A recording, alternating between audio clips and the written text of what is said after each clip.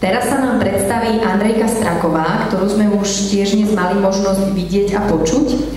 Andrejka je žiačkou pána riaditeľa Kovárika, je žiačkou druhého ročníka druhej časti štúdia hry na klavíri a zahrá nám uhorský tanec Johannesa Brownsona.